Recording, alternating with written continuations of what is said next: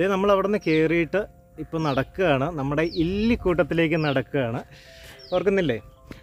ഇവിടെ സൈഡിൽ നിന്ന് തുന്നാരന്റെ വച്ചേക്കാം കോമൺ ടൈലർ ബേഡ്. ഞാൻ കോമൺ ടൈലർ ബേഡിന്റെ ചേക്കേറുന്നതിനെ കുറിച്ചൊരു ചെറിയ സ്മോൾ ടോക്സിൽ ഒരു വീഡിയോ ചെയ്തിരുന്നു. അതൊന്ന് കണ്ടു നോക്കുക കാണാത്തവരുണ്ടെങ്കിൽ. ഇവരിപ്പോൾ ഈ കരയുന്നതും ചേക്കേറാൻ വേണ്ടിയിട്ടുള്ള കരച്ചിലാണ് സന്ധ്യയായി തുടങ്ങിയിട്ടുണ്ട്. കണ്ടില്ലേ? നമ്മുടെ ഇല്ലിക്കൂട്ടത്തിന്റെ സൗന്ദര്യമൊക്കെ ഇടയ്ക്കൊന്ന് പോയായിരുന്നു. കുറേയൊക്കെ വെട്ടി മറിച്ചിട്ട് കളഞ്ഞായിരുന്നു. പിന്നെയും കുറച്ചുകൂടി ഡാർക്കായിട്ട് വരുന്നുണ്ട്. എന്തായാലും ഒരു രസമാണ് നമ്മൾ ഈ വഴി കൂടെ നടക്കുന്നത്. നമുക്ക് ആ ആ ഭാഗത്തേക്കൊന്ന് പോയി നോക്കാം. ആ അത് കണ്ടില്ലേ? ഞാൻ നേരത്തെ പറഞ്ഞില്ലേ സ്ട്രാപ്പ് സാധാരണ ഞാൻ ഇങ്ങനെ കയ്യിലിട്ടിട്ട് ഇങ്ങനെ ക്യാമറ ഹോൾഡ് ചെയ്തുകൊണ്ടാണ് നടക്കാറുള്ളത്. ഇതിൽ കുറച്ച് വെയിറ്റ് കൂടുതലുണ്ടെങ്കിൽ എനിക്ക് ഹാൻഡിലബിൾ ആണ്. പക്ഷേ വീഡിയോ എടുക്കാൻ നേരത്ത് കൈ വിറയ്ക്കുന്നത് ഒഴിവാക്കാൻ എന്തായാലും നമുക്ക് ട്രൈപോഡ് വേണം. ഹോപ്പ്ഫുള്ളി ഇന്ന് വീട്ടിൽ ട്രൈപോഡ് എത്തും. നമുക്കിത് താഴേക്ക് ഇറങ്ങി നോക്കാം കേട്ടോ. അപ്പോൾ Anakkayam Anakkayam one of my favourite places ഞാൻ നേരത്തെയും പറഞ്ഞിട്ടുണ്ട്. ഒരുപാട് കാര്യങ്ങൾ അൺബോക്സിങ്ങുകളാണെങ്കിലും ഒരുപാട് ബേഡ്സിനെ കണ്ടിട്ടുള്ള ഒരു സ്ഥലമാണ് ഇവിടെ. നമുക്ക് ഇന്നും ആ, കുറച്ചുകൂടി കണ്ടിട്ട് പോവാം. എനിക്ക് എല്ലാത്തിനെയും നിങ്ങളെ ഇന്ന് നേരെ ചൊവ്വേ വീഡിയോയിൽ കാണിക്കാൻ പറ്റുമോയെന്ന് എനിക്കറിയത്തില്ല. ഞാൻ മാക്സിമം ശ്രമിക്കാം. ഞാൻ മാക്സിമം പെട്ടെന്ന് ഈ ക്യാമറയുടെ യൂസ്ഡ് ആയിട്ട് വരാം. എന്തായാലും ബാ സമയം അഞ്ച് ഇരുപതൊക്കെ ആയിട്ടേ ഉള്ളൂ. പക്ഷേ സൂര്യൻ അങ്ങ് താന്ന് തുടങ്ങി അവിടെ നിന്ന്.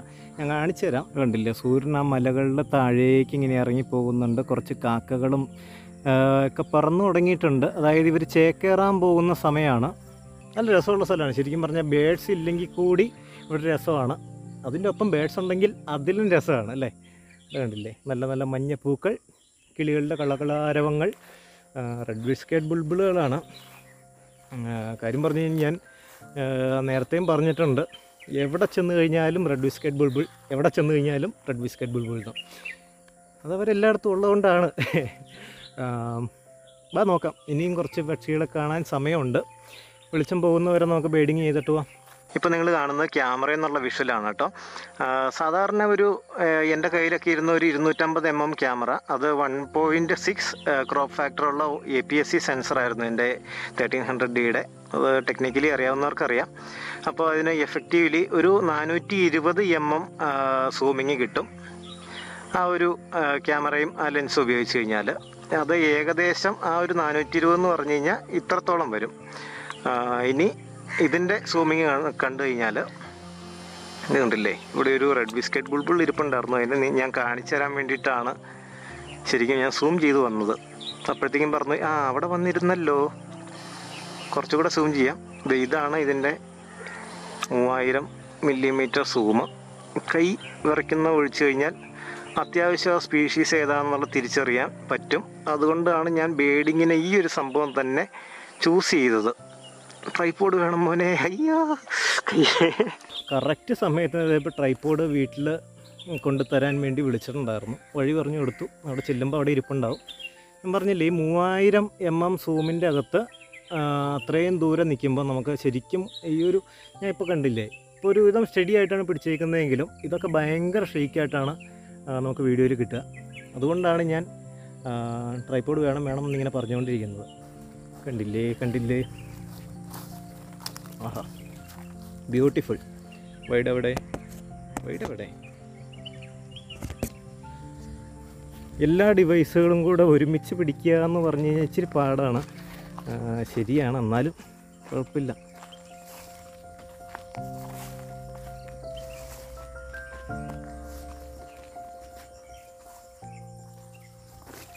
ആ ഇവിടെ ഞാൻ പ്രതീക്ഷിച്ചേക്കാളും കാട് പിടിച്ചിട്ടുണ്ട്. പക്ഷേ ബ്യൂട്ടിഫുള്ളി കാട് പിടിച്ചിട്ടുണ്ടെന്ന് പറയാൻ പറ്റുള്ളൂ. എപ്പോഴും ഒരു തെളിഞ്ഞ സ്ഥലം എത്തുന്നേ? തെളിഞ്ഞ സ്ഥലം എത്തുന്നത് നോക്കിയാണ് പോകുന്നതെങ്കിലും ഈ പൂക്കൾക്ക് വലിയ മണമൊന്നുമില്ല കേട്ടോ. ഇതാ കണ്ടില്ലേ? ഇവിടെ വേറൊരു പുൽമൈതാനം പോലെ കിടക്കുന്നത് വെള്ളം കയറുമ്പോൾ ഇവിടെയൊക്കെ വെള്ളം കയറി വരും. പക്ഷേ അത് കഴിയുമ്പം പലതരം പുല്ലുകളുണ്ടാവും. നേരത്തെ വന്നപ്പോൾ നല്ല പച്ച പച്ച പുല്ലുകളായിരുന്നു. പിന്നെ അങ്ങനെ ഒന്ന് നല്ല രസമുള്ള പച്ചപ്പുല്ലുകളൊക്കെ ഉണ്ടായി പൂക്കളൊക്കെ ഉണ്ടായി നിൽക്കുമ്പം മാക്രോ ഫോട്ടോഗ്രാഫി ഇഷ്ടമുള്ളവർക്ക് ഇവിടെ വന്നു കഴിഞ്ഞാൽ മാക്രോ കുറേ കുറേ പ്രാണികൾ തുമ്പികൾ തത്തമ്മ തത്തമ്മ അവിടെ നിന്ന് കരഞ്ഞപ്പം ശ്രദ്ധ അങ്ങ് മാറിപ്പോയതാണ് അപ്പോൾ എന്തായിരുന്നു? ആ ചിത്രശലഭങ്ങൾ പലതരം കളറിലുള്ള പ്രാണികൾ അങ്ങനെയൊക്കെയുള്ളതെല്ലാം ഇവിടെ കാണും. ഇതുപോലെയുള്ള എല്ലാ സ്ഥലത്തും കാണും. നിങ്ങളൊന്ന് തപ്പി നോക്കുക. നിങ്ങളുടെ അടുത്തുള്ള സ്ഥലങ്ങളിലും ഒന്ന് അന്വേഷിച്ച് നോക്കുക. ഒന്ന് പരിധി നോക്കുക. ഞാൻ പല പല ഭാഷകളിൽ പറഞ്ഞു നോക്കിയതാണ് നിങ്ങൾ പലപ്പോഴും ഇതുപോലെയുള്ള പ്രദേശങ്ങളിൽ കുറച്ച് വെള്ളം കിട്ടുന്ന സ്ഥലത്ത് ഈ ഒരു പൂക്കൾ കണ്ടിട്ടുണ്ടായിരിക്കാം. ക്യാൻഡലബ്ര ബുഷ് എന്നാണ് പറയുന്നത്. ഇതിന്റെ പ്രൊനൗൺസിയേഷൻ കറക്റ്റ് ആണോ എന്ന് അറിയത്തില്ല. എന്തായാലും ഞാനിവിടെ എഴുതി കാണിക്കാം. സെന്ന അലേറ്റ എന്നാണ് ഇതിന്റെ ശാസ്ത്രീയ നാമം. ഞാൻ ചെറുപ്പത്തിൽ തൊട്ട് വിചാരിച്ചുകൊണ്ടിരുന്നത് എന്താണെന്ന് വെച്ച് കഴിഞ്ഞാൽ ഈ സംഭവത്തിന്റെ അകത്ത് സ്പോഞ്ച് പോലെയാണെന്നാണ്. പക്ഷേ അത് വെറും പെറ്റൽ പോലെ അല്ലെങ്കിൽ എന്താ പറയുക ഇതളുകൾ പോലെ തന്നെ ഒരു സംഭവമാണ്. നല്ല രസമുള്ളൊരു ചെടി ആയതുകൊണ്ട് കാണിച്ചു തന്നതാണ്. ഞാനിപ്പോൾ ഈ ചെടിയുടെ പേര് കണ്ടുപിടിച്ചത് ഞാൻ ഓർത്തിരുന്നതൊന്നുമല്ല. ഞാൻ ഒരു ആപ്ലിക്കേഷൻ നോക്കി കണ്ടുപിടിച്ചതായിരുന്നു. ആ ആപ്ലിക്കേഷനെ കുറിച്ചൊക്കെ നമ്മൾ ഉടനെ തന്നെ ഒരു വീഡിയോ ചെയ്യാം. അതുപോലെ തന്നെ ഞാൻ എങ്ങനെയാണ് ബേഡിങ് ചെയ്യുന്നത്? ബേഡിങ് ചെയ്യുമ്പം അത് ചെക്ക് ലിസ്റ്റ് ഉണ്ടാക്കാൻ ഉപയോഗിക്കുന്ന ആപ്ലിക്കേഷൻ ഏതാണ്? അതെങ്ങനെയാണ് യൂസ് ചെയ്യേണ്ടത്? അങ്ങനെയുള്ള വീഡിയോസൊക്കെ ഉടനെ തന്നെ പ്രതീക്ഷിക്കാം. ഞാൻ അത് കുറേ നാളായിട്ട് ചെയ്യണമെന്ന് വിചാരിച്ചിരിക്കുന്ന ഒരു കാര്യമാണ് ബേഡിങ്ങിനെ കുറിച്ചുള്ള ആപ്ലിക്കേഷന്റെ ഒരു വീഡിയോ എന്ന് പറയുന്നത്. എന്തായാലും നമുക്ക് ഉടനെ തന്നെ സെറ്റാക്കാം. ഞാനിപ്പോൾ ഇത് കണ്ടില്ലേ? ഇങ്ങനെ നടക്കുകയാണ് അവിടെ സൂര്യൻ മങ്ങിത്തുടങ്ങി. ഒരു കരച്ചിൽ കേട്ടില്ലേ? കീ കീ. അത് ഒ എം ആർ ആണ്. ഒ എം ആർ എന്ന് പറഞ്ഞു കഴിഞ്ഞാൽ നമ്മൾ ബേഡ്സിനെ ഷോർട്ട് ഫോമിൽ പറയാറുണ്ട് ബേഡേഴ്സ്. ഒ എം ആർ എന്ന് പറഞ്ഞാൽ ഒപ്റ്റിക്കൽ മാർക്ക് റെക്കഗ്നീഷൻ എന്നൊന്നുമല്ല.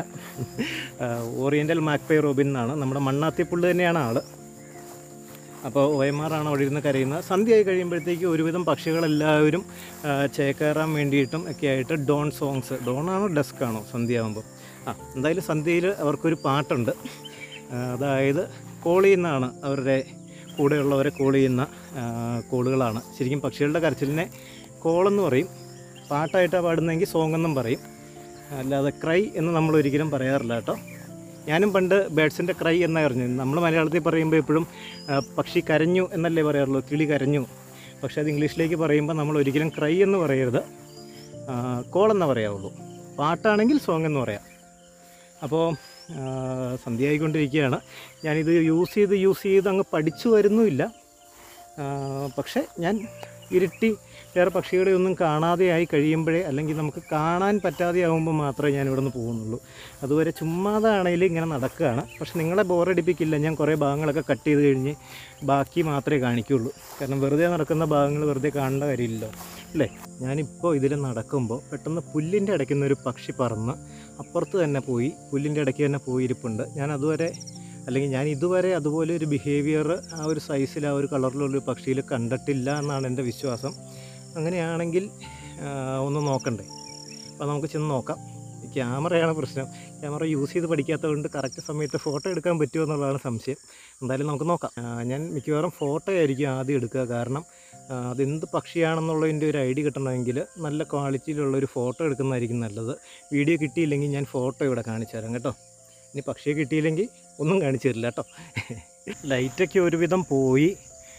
ഞാനിങ്ങനെ പക്ഷിയുടെ അടുത്തേക്ക് ചെല്ലും പക്ഷി അവിടെ നിന്ന് പറന്നു പോകും ഈ ക്യാമറയ്ക്ക് ഫ്ലൈറ്റ് ഫോട്ടോ എടുക്കാൻ വേണ്ടിയിട്ടുള്ള കേപ്പബിലിറ്റി കുറവാണെന്ന് അല്ലെങ്കിൽ ഫ്ലൈറ്റ് ഫോട്ടോ എടുക്കാൻ പറ്റില്ല എന്നൊക്കെ കേട്ടു. പക്ഷേ ഞാൻ ഇത് ഫുൾ ത്രീ തൗസൻഡ് എം എമ്മിലൊന്നും സൂം ചെയ്യാതെ അധികം വെട്ടമില്ല ലോ ലൈറ്റ് കേപ്പബിലിറ്റിയും കുറവാണ്. അപ്പം ഞാൻ ഫുൾ സൂം ചെയ്യാതെ ഒരു ഇരുന്നൂറ്റി എഴുപത്തഞ്ച് ആ ഒരു സൂം റേഞ്ചിലൊക്കെ വെച്ചിട്ട് ഞാൻ പുറകെ നടന്നൊന്ന് ക്ലിക്ക് നോക്കിയപ്പോൾ എനിക്കൊരു ഫ്ലൈറ്റ് പടം കിട്ടിയിട്ടുണ്ട്. അതിന്റെ ഫീച്ചേഴ്സൊക്കെ ഉള്ളൊരു പടം. കുറച്ച് നേരമായിട്ട് ഈ പുല്ലിന്റെ ഇടയ്ക്കിടെ ദേ ഇതുപോലെ ഇങ്ങനെ നടക്കുകയായിരുന്നു. കാര്യം പറഞ്ഞാൽ നിലത്തേക്കൊന്നും നോക്കിയില്ല. കാരണം അറിയാവുന്ന സ്ഥലമായതുകൊണ്ട് ഞാൻ ഇവിടെ കുഴിയൊന്നും ഇല്ലെന്നറിയാം പക്ഷേ അത് ആ അപ്പുറ ഭാഗത്തൊരു അവിടെ ഒരു കിണറുണ്ട്. അപ്പോൾ അറിയില്ല സ്ഥലത്ത് ഇതുപോലെ ഇന്ന് നടക്കാൻ പോരുത്. ഇപ്പോൾ എന്തായാലും പക്ഷേ ഇത് ആ ഒരു ഭാഗത്ത് അവിടെയായിട്ട് ഇരിപ്പുണ്ട്. നമുക്ക് അങ്ങോട്ടൊന്ന് ചെന്ന് നോക്കാം. ഞാൻ വീഡിയോ എടുത്തുകൊണ്ട് പോകുന്നില്ല കാരണം ക്യാമറ റെഡിയാക്കി വെച്ചിട്ടാണ് പോകുന്നത്. പറക്കുവാണെങ്കിൽ എന്തെങ്കിലും ഒരു പടം കിട്ടിയാൽ അത്രയും എന്ന് ഓർത്തിട്ടാണ്. അപ്പോൾ നമുക്ക് ഒന്നുകൂടി തപ്പി നോക്കാം. അപ്പോൾ അവിടെ നിന്നും പറന്ന് വീണ്ടും ആദ്യമേ ഞാൻ പോയ സ്ഥലത്ത് അവിടെ വന്നിരിപ്പുണ്ട്. ഇവർ പുല്ലിന്റെ ഇടയ്ക്കാണ് വിളിക്കുന്നത്. അല്ലാതെ ഒരു ഓപ്പൺ സ്പേസിലായിരുന്നെങ്കിൽ നമ്മുടെ ഈ ക്യാമറ ധാരാളമായിരുന്നു. അത് ഏതാണെന്നുള്ള കറക്റ്റായിട്ട് അറിയാൻ പറ്റുന്നത്. ശരി അറിയാൻ പറ്റാൻ അറിയാൻ ഐ മീൻ അറിയാൻ. അപ്പോൾ ഞാൻ എന്തായാലും നോക്കും. ഒരു ഫ്ലൈറ്റ് പിക്ചർ കിട്ടിയിട്ടുണ്ട്. നമുക്ക് നോക്കാം. പുറകെ നടന്ന് നോക്കാം. ഓപ്പണിലായിരുന്നെങ്കിൽ ജസ്റ്റ് ഇവിടെ വന്നിട്ട് തന്നെ നമുക്ക് എടുത്താൽ മതിയായിരുന്നു നീ. ഞാൻ കാര്യം പറഞ്ഞ ആ പക്ഷിയെ ശല്യപ്പെടുത്തിക്കൊണ്ടിരിക്കുകയാണ്. എന്നെനിക്ക് അറിയാം വേറെ ഏതെങ്കിലും അറിയാവുന്ന പക്ഷിയായിരുന്നു ഞാൻ ഇങ്ങനെ ചെയ്യത്തില്ല. ഇതിപ്പോൾ എന്റെ ഒരു ആഗ്രഹമായി അല്ലെങ്കിൽ ഒരു ആവശ്യം എന്ന് പറയാൻ പറ്റില്ല. ശരിക്കും പറഞ്ഞു കഴിഞ്ഞാൽ ആ പക്ഷി എന്താണോ ചെയ്തുകൊണ്ടിരിക്കുന്നത് അതിനേക്കാളും വലിയൊരു ആവശ്യമൊന്നുമല്ല. ഒരിക്കലും നമ്മുടെ ഈ ബേഡിംഗ് എന്ന് പറയുന്നത്. അതുകൊണ്ട് മാക്സിമം പക്ഷികളെയും മറ്റ് ഒരു ജീവികളെയും ശല്യപ്പെടുത്താതെ നമ്മൾ ബേഡിങ് ചെയ്യാൻ നോക്കണം. എന്നാലും ഇപ്പം എനിക്കതിനെ ഓപ്പണിൽ കിട്ടണമെങ്കിൽ അതിനെ ആ പുല്ലിന്റെ ഇടയ്ക്ക് നിന്ന് പറത്തി ഫോട്ടോ എടുക്കേണ്ട ഒരു അവസ്ഥയിലാണ്. അവൻ ജസ്റ്റ് ഈ പുറത്ത് ദേ ഇതുപോലുള്ള സ്ഥലത്തേക്ക് ഒന്ന് വന്നിരിക്കുകയായിരുന്നെങ്കിൽ ഞാൻ ശല്യപ്പെടുത്തില്ല. ഐ ഡോണ്ട് ലൈക്ക് ഇറ്റ് ശരിക്കും പറഞ്ഞാൽ ഈ കോൾ വയ്ക്കാൻ പോലും ഭയങ്കര താല്പര്യമുള്ള ആളല്ല. കോൾ മീൻസ് പക്ഷികളുടെ ശബ്ദം ഫോണിൽ കേൾപ്പിച്ച് കഴിഞ്ഞാൽ പക്ഷികൾ ചിലപ്പോൾ പറന്നു വരാൻ സാധ്യതയുണ്ട്. അങ്ങനെ വയ്ക്കുന്നതും ശരിക്കും പറഞ്ഞാൽ അവരെ ശല്യപ്പെടുത്തുന്നതോ അല്ലെങ്കിൽ അവരെ പേടിപ്പിക്കും. ചിലപ്പോൾ എന്തെങ്കിലും ത്രെട്ടണിങ് കോളുകളാണെങ്കിൽ അല്ലെങ്കിൽ ചിലപ്പം അവരുടെ എന്താ പറയുക പേര് വിളിക്കുന്ന പോലത്തെ കോളുകളായിരിക്കാം. നമുക്കറിയില്ല പക്ഷികളുടെ ഭാഷ. നമ്മൾ ജസ്റ്റ് ഒരു സൗണ്ട് വെക്കും.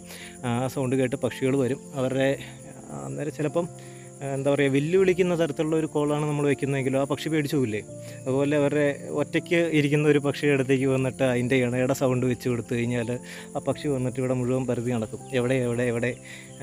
എന്റെ ലൈലിയൊക്കെ ഉണ്ടോ? എന്നും പറഞ്ഞുകൊണ്ട്. അപ്പം അങ്ങനെയൊക്കെയുള്ള സിറ്റുവേഷൻസ് ഒഴിവാക്കാനാണ് മാക്സിമം ഞാൻ ശ്രമിക്കുന്നത്. പക്ഷേ ഇപ്പോൾ ഈ പക്ഷിയുടെ പുറകെ പോകണം എനിക്ക്. പുല്ലിന്റെ ഇടയ്ക്ക് നിന്ന് പുറത്തെടുത്ത് പുറത്തെടുത്ത് മീൻസ് പുറത്ത് എത്തുമ്പോൾ ഒരു ഫോട്ടോ കിട്ടിയാൽ കൊള്ളാമായിരുന്നു. സ്വാർത്ഥനാവുകയാണ് ഞാൻ സ്വാർത്ഥനാവുകയാണ്. ബാ നോക്കാം. ഞാൻ കുറേ ബാ പറയുന്നുണ്ടല്ലേ? ഞാൻ കുറച്ച് ഫ്ലൈറ്റ് ഫോട്ടോ എടുക്കാൻ നോക്കി പരാജയപ്പെട്ടു. ഞാൻ ക്യാമറയിൽ നോക്കി ഇങ്ങനെ നോക്കി നിൽക്കുന്ന സമയത്ത് എവിടെയോ പോയി മുങ്ങിയിട്ടുണ്ട്. ഇത്രയും വിശാലമായിട്ട് കിടക്കുന്ന ഈ സ്ഥലത്ത് ഇനി അതിനെ കണ്ടുപിടിക്കാൻ പറ്റത്തില്ല. അല്ലെങ്കിൽ നമ്മൾ ഇങ്ങനെ നടക്കുമ്പോൾ അവിചാരിതമായിട്ട് ഫ്രണ്ടിൽ നിന്ന് പറന്ന് പോയാലേ പറ്റുള്ളൂ. അതുകൊണ്ട് തൽക്കാലം നമുക്ക് ആ ഒരു ഫോട്ടോ വെച്ച് തൃപ്തിപ്പെടാമെന്ന് വിചാരിക്കാം. അങ്ങനെയാണെങ്കിൽ നാളെയും ആ പക്ഷി ഇവിടെ കാണുമല്ലോ. കാണാൻ സാധ്യതയുണ്ടല്ലോ. അപ്പോൾ നമുക്ക് നോക്കാം. എന്തായാലും ഈ എന്തായാലും പോയില്ല. അഞ്ച് മാസത്തിന് ശേഷമാണ് ഞാൻ വീഡിയോ ചെയ്യാൻ വരുന്നത്. ഞാൻ നേരത്തെയും പറഞ്ഞിട്ടുണ്ട് ഞാൻ കുറേ എന്തായാലും അത് ഇതെന്നൊക്കെ പറയുന്നു. അതൊക്കെ ഓരോ ആൾക്കാരുടെ രീതികളാണല്ലോ. മാറ്റം മാറ്റാൻ നിൽക്കണ്ട അല്ലേ? മാറ്റാൻ നിൽക്കണ്ട അല്ലേ? ഇതായിച്ചു തുടങ്ങിയിട്ടുണ്ട്. വണ്ടിയിലെ വെള്ളമുണ്ട്. ബാഗിലെടുത്തിട്ടില്ല. കാരണം ബാഗിൽ എന്റെ ഡെയർ ഡെവിൽ ഡെയർ ഡെവിൽ ബാഗാണ് വിൽഡേബീസിന്റെ. ശരി വിൽഡേബീസ് എന്ന് വിൽഡേബീസ് മറ്റേ മസായിമാരയിൽ മൈഗ്രേഷൻ നടത്തുന്ന ജീവിയാണല്ലോ ഞാൻ കാണിച്ചു തരാം ബാഗ്. അതുകൊണ്ടല്ലേ കണ്ടില്ലേ? ഇത് വൈൽഡ് ക്രാഫ്റ്റിന്റെ ഡെയർ ഡെവിൽ എന്ന് പറയുന്ന ബാഗാണ്. ഞാൻ ആ ബോക്സ് ഇതിന്റെ അകത്താണ് കൊണ്ടുവന്നത് അതിന് വേണ്ടിയിട്ടാണ് ബാഗ് കൊണ്ടുവന്നത് അല്ലെങ്കിൽ ഞാൻ ഈ ബാഗ് കൊണ്ട് നടക്കും. ഇതിന്റെ അകത്ത് നല്ലൊരു ഗുൾഫിന്റെ പടമുണ്ട്. അതുകൊണ്ട് ബുക്ക് ചെയ്താൽ എനിക്കാണെങ്കിൽ ഈ ഗുൾഫ് ഔൾസ് ഒക്കെ എനിക്ക് ഭയങ്കര ഇഷ്ടമുള്ള സംഭവമാണ്. ഇപ്പോൾ ഒരുവിധം കാക്കകളെല്ലാം ചേക്കേറാൻ വേണ്ടി പറക്കുന്നുണ്ട്. നമ്മുടെ കൊക്കുകളൊക്കെ ചേക്കേറാൻ വേണ്ടി പറക്കുന്നുണ്ട്. ഞാൻ നടക്കുന്ന സ്ഥലം കണ്ടില്ലേ? ഇവിടെ വെള്ളം ഉണ്ടായിരുന്നു. വെള്ളം ഇറങ്ങിപ്പോയപ്പം വെയിൽ കൊണ്ട് വിണ്ട് കയറിയതാണ്. ഇത് ഒരു പർപ്പിൾ ഹെറോൺ പറന്നു പോകുന്നുണ്ടില്ലേ അയ്യടാ അത് അവൻ അവിടെ പോയി ഇരുന്നല്ലോ? നമുക്കൊന്ന് ചെന്ന് നോക്കാവേ. കണ്ടില്ലേ ഒരു പർപ്പിൾ ഹെറോൺ അവിടെ പോയി ഇരിപ്പുണ്ട്. കുറച്ചും കൂടെ അതിന്റെ മാക്സിമം സൂമിലേക്ക് ചെന്നിട്ട് ഈ ഓട്ടോ ഫോക്കസ് ഒക്കെ ഒന്ന് പഠിച്ചു വന്നു ഇത്രയും അടുത്തിരിക്കുന്നത് എടുക്കുക എന്ന് പറഞ്ഞു കഴിഞ്ഞാൽ കണ്ടില്ല ഇപ്പോൾ ഡിജിറ്റൽ സൂമിലേക്ക് മാറി. അവിടെ ഉണ്ടായി മതിയായിരുന്നു എടുത്തു വരുമ്പോഴത്തേക്കും. അയ്യാ, അയ്യാ കണ്ടില്ലേ? ഇതാണ് പർപ്പിൾ ഹെറോൺ ചില ഫോക്കസിന്റെ സെറ്റപ്പ് ഉണ്ടല്ലേ? ആ ഇപ്പോൾ സെറ്റായി മൂവായിരം എം എമ്മിലുള്ള ക്ലാരിറ്റിയാണ് ഇതെന്ന് ഓർക്കണം കേട്ടോ. ഇപ്പം മൂവായിരത്തി നിന്ന് കുറച്ചേ. ഇനി ഞാൻ അവിടെ നിന്ന് നേരെ ഇരുപത്തിനാലിലേക്ക് വന്ന് കാണിച്ചു തരാം ഇരുപത്തിനാലെന്ന് പറഞ്ഞാൽ ഏകദേശം ഞാൻ ഈ കണ്ടുകൊണ്ടിരിക്കുന്ന ഒരു അതായത് എനിക്ക് കണ്ണുകൊണ്ട് കാണുമ്പോൾ കിട്ടുന്ന ഒരു വൈഡ് കിട്ടും. അമ്പത് എം എം ആണ് ആക്ച്വൽ ഒരു മനുഷ്യന്റെ കണ്ണിന്റെ ഫ്രെയിം ശരി എന്താ പറയുക ഫോക്കൽ ലെങ്ത് എന്ന് പറയുന്നത്. അതിനെ ഒന്നുകൂടെ സൂം ചെയ്ത് നോക്കണം? ഫോക്കസ് ചെയ്യാനൊക്കെ പഠിക്കേണ്ടിയിരിക്കുന്നു. പാടാണ് പാടാണ് പാടാണ്. ഞാൻ സൂം ഔട്ട് ചെയ്ത് കാണിച്ചു തരാം. അതിന് മുമ്പ് അവിടെ ഫോക്കസ് ആക്കട്ടെ. അപ്പം ഞാൻ സൂം ഔട്ട് ചെയ്ത് കാണിച്ചു തരാവേ. അവിടെ നിന്ന് ട്വന്റി ഫോറിലേക്ക്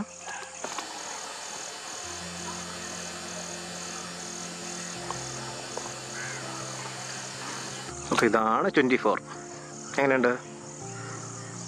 എന്റെ സൂം കേപ്പബിലിറ്റിയെ കുറിച്ച് നിങ്ങളൊന്ന് താഴെ ഒന്ന് കമന്റ് ചെയ്യാം കേട്ടോ.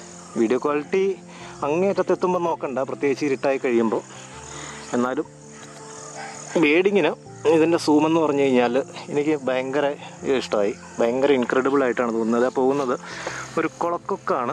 നമുക്ക് അതിന്റെ പുറകെ ഒന്ന് പോയി നോക്കാം. ആ ഫ്ലൈറ്റിൽ അത്യാവശ്യം പിടിക്കുന്നുണ്ട് കേട്ടോ. അത്യാവശ്യം പിടിക്കുന്നുണ്ട്. കൈവേന എടുക്കുന്നുണ്ട്. വേറെ കാര്യം. ആറുമണി ആവുന്നതേ ഉള്ളൂ. ഒരുവിധം ഇരുട്ടിയിട്ടുണ്ട്. ഇനി ഫോട്ടോ എടുക്കുക എന്ന് പറഞ്ഞാൽ ലോ ലൈറ്റിൽ എന്റെ മറ്റേ ക്യാമറ ആണെങ്കിൽ ഇത്രയും പോലും പറ്റില്ല എന്ന് എനിക്ക് തോന്നുന്നുണ്ട്. ഈ ഫോക്കസ് ഞാൻ അതിൽ കംപ്ലീറ്റ് മാനുവൽ മോഡിലായിരുന്നു യൂസ് ചെയ്തുകൊണ്ടിരുന്നത്. കാരണം എന്ന് പറഞ്ഞു കഴിഞ്ഞാൽ അതിൽ ഓട്ടോ ഫോക്കസ് ഭയങ്കര പാടായിരുന്നു. ഓട്ടോ ഫോക്കസ് ചെയ്ത് വരുമ്പോഴത്തേക്കും പക്ഷികൾ പോയി ചോറുണ്ടിട്ട് വരും. അതുപോലെയായിരുന്നു. അതുകൊണ്ട് ഞാൻ ആ camera one three zero zero D ഒരു അമ്പത്തഞ്ച് ഇരുന്നൂറ്റമ്പത് എം എം ലെൻസിന്റെ അകത്ത് ഞാൻ കംപ്ലീറ്റ് മാനുവലിലായിരുന്നു ഓപ്പറേറ്റ് ചെയ്തുകൊണ്ടിരുന്നത്. നിങ്ങൾ കണ്ടിട്ടുള്ള എല്ലാ വീഡിയോയിലും ക്യാമറ ഫുട്ടേജസിലും എല്ലാത്തിലും ഞാൻ മാനുവൽ പരിപാടികളായിരുന്നു ഉണ്ടായിരുന്നുള്ളൂ. ഇതിൽ അത്യാവശ്യം ഇരുട്ടത്താണെങ്കിലും ഞാൻ വിചാരിച്ചതിനേക്കാളും നന്നായിട്ട് ഞാൻ പ്രതീക്ഷിച്ചതിലും കൂടുതലായിട്ട് ഇത് ഫോക്കസ് ആവുന്ന ആവുന്നുണ്ട്. ഫ്ലൈറ്റിലാണെങ്കിൽ പ്രത്യേകിച്ചും നമ്മളിപ്പോൾ ഈ പോൺ ഹെറോണ്ട വീഡിയോ കണ്ടില്ലേ? എന്റെ അത് അത്യാവശ്യം അതിനെ ഫോളോ ചെയ്യാൻ പറ്റുന്നുണ്ട് ക്യാമറയ്ക്ക്. ഞാനിപ്പോൾ ഇങ്ങനെ നടന്നുകൊണ്ടിരിക്കുന്നത് എന്താ അറിയാവോ?